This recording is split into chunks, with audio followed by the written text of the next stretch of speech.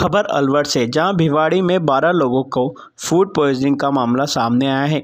आपको बता दें कि ये लोग बाबा मोहन राम के दर्शन करने के लिए आए थे।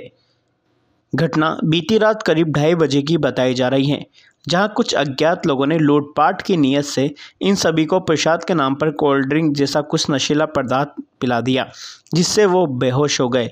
लेकिन लोगों के पूरी तरह से बेहोश नहीं होने के कारण बदमाश लूटपाट की घटना को अंजाम नहीं दे सके। जानकारी अनुसार, ये सभी लोग यूपी के हापुड़ एवं उत्तराखंड के बताए जा रहे हैं। सभी को अस्पताल में भर्ती कराया गया है। वहीं दो की हालत गंभीर होने पर उन्हें अलवर रेफर कर दिया गया। पुलिस पूरे मामले की छानबीन में जुटी हुई है।